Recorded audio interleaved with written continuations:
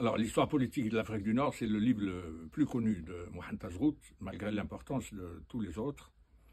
Alors, il faut dire quelques mots de Mohamed Tazrout. C'est quelqu'un qui est né en 1893 euh, en Kabylie, dans une famille très religieuse, où le Coran lui a été appris par son propre père. Et il restera reconnaissant jusqu'à la fin de sa vie à l'apprentissage du Coran. Il a reconnu que sa mémoire dans les études germaniques, il se spécialisera par la suite, il les doit euh, au fait d'avoir appris le Coran par cœur très très jeune. Et euh, il se retrouve au cours normal euh, de Bouzavera pour la formation d'instituteurs, et c'est grâce à lui que l'on découvre qu'il y avait une discrimination même dans ce haut lieu qu'on supposait être un lieu d'égalité entre indigènes et européens ou musulmans naturalisés, parce qu'il y avait l'école normale d'instituteurs qui formait des instituteurs à part entière, et les indigènes passaient par le cours normal, ils étaient recrutés comme euh, instituteurs adjoints, moniteurs, et euh, dans tous les cas euh, payés moins que les Européens, c'est ce qu'on appelait le tiers colonial. Leur salaire était amputé de 33% par rapport, il y en a un qui était marié à une pied noire, sortie de la même année, de la même promotion, elle gagnait 33% de, plus que lui. Ça a été à l'origine de conflits conjugaux. Et euh, il a été, euh, il est sorti en 1913, donc à 20 ans, il était très précoce, mais il a enseigné un an ou deux ans maximum à Snit el-Had, donc à l'ouest d'Alger, dans le Loire-Nice. Euh, mais il était tout le temps en conflit avec le directeur de l'école, qui était un Européen très autoritaire. Et là, il décide de quitter l'Algérie et ses discriminations. Et il émigre en France en 1914, où il se naturalise, malgré le, conflit que ça a créé avec sa famille, dont il était séparé pendant 40 ans. Parce que la naturalisation à l'époque supposait la rupture totale avec l'islam. Et euh, la guerre mondiale commence, il est mobilisé dans les tirailleurs et fait prisonnier à la bataille de Charleroi en Belgique et il passera euh, trois ans en prison, ou deux ans et demi, dans le célèbre camp du Croissant, euh, où il y avait à peu près 3000 prisonniers musulmans, la plupart algériens, qui étaient travaillés par l'action psychologique allemande, épaulés par l'Emir Ali, le, cadet des enfants de l'Emir Abdelkader, qui était général dans l'armée ottomane. Et Tazrout bénéficiera d'un échange de prisonniers en 1917. Et euh, dans son interrogatoire, il a été interrogé longuement sur les activités de l'Amir Ali au camp du Croissant. Euh, parce que l'Amir Ali, euh, première question, il dit Vous êtes venu de Sète ou de Marseille, vous passez par plusieurs villes, dans Paris, est-ce que vous avez un lieu de prière en France? Ils disent non. Il dit Mais l'Allemagne a une mosquée depuis Goethe. Donc l'Allemagne respecte l'islam mieux que la France qui se dit puissance musulmane. Donc c'est un des arguments. Or, dans le camp, euh, Tazrout a appris l'allemand. Il, avait un don très particulier pour les langues. Et euh, dès qu'il a fait l'objet d'un échange de prisonniers en, 1917, euh, il demande l'autorisation au consul et à l'attaché militaire français en Suisse euh, pour qu'il s'inscrive à l'université de Lausanne où il poursuit ses études d'allemand et à l'armistice, il est, nommé professeur euh, dans un collège à La Roche-sur-Yon, où il s'est marié à une institutrice de, de la région. Mais il continue ses études dans la, à Poitiers et à Strasbourg. Au-delà des études de langue, il voulait être un spécialiste de l'Allemagne.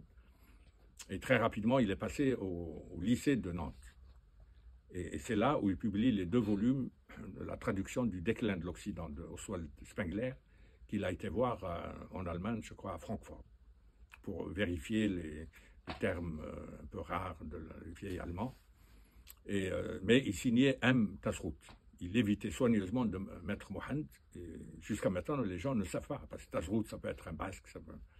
il, dissimulait son identité, comme il, était, il avait le teint clair, les yeux clairs. Euh, pour lui, c'était le meilleur moyen d'échapper aux discriminations coloniales. Euh, et, rapidement, il est muté dans un lycée à, Paris. Il finira au lycée Charlemagne, qui est un des grands lycées. Et pendant la, guerre, il a publié un, dictionnaire français-allemand, ou allemand-français.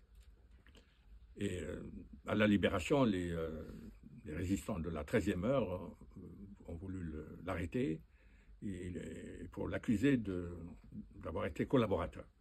Et c'est là-dessus que ses collègues du lycée ont signé une pétition pour dire qu'il était le seul à avoir le courage de distribuer les tracts de la résistance à la sortie du lycée.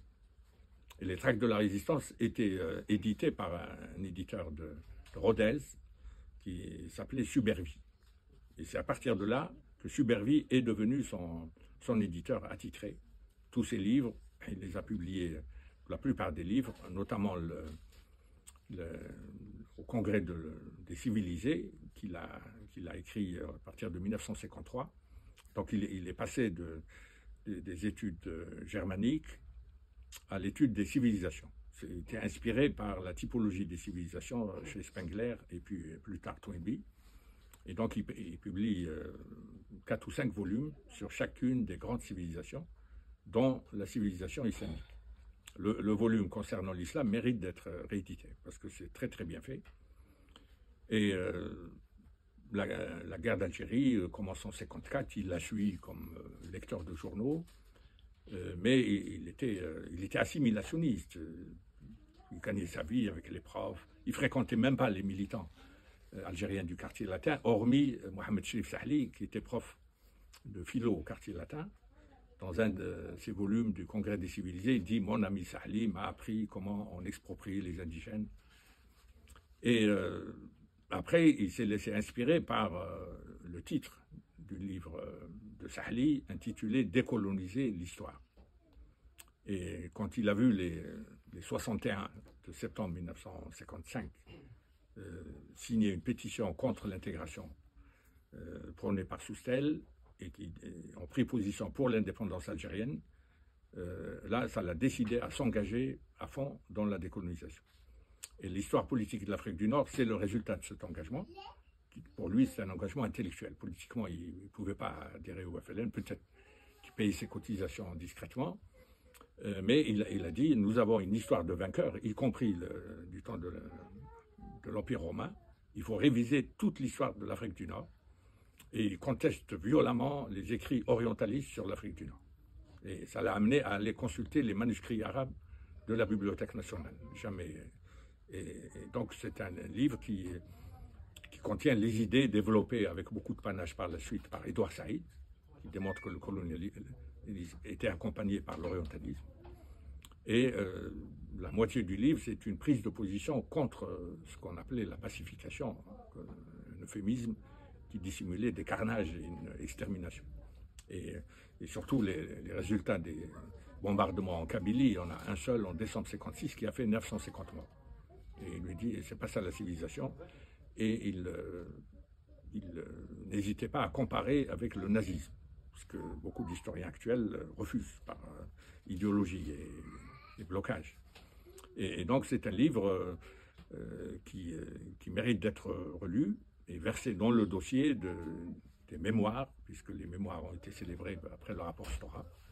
Et donc la qualification de la colonisation par un ex-indigène qui s'est auto-désindigénisé, comme disait Malik Nabi, euh, mérite d'être étudié par euh, tous ceux qui veulent avoir une vision euh, impartiale de l'histoire coloniale, surtout que cette histoire fait l'objet régulièrement de révisionnisme, parfois même de négationnisme. Et c'est la raison pour laquelle ce livre mérite d'être médité.